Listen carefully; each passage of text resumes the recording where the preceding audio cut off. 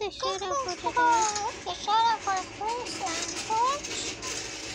Because, uh, Chris, Chris said is cute, but I'm not. And Torch is amazing. He really is. Oh, wait, hold on. I need to, uh. But yeah, also shout out to Maddie Mouse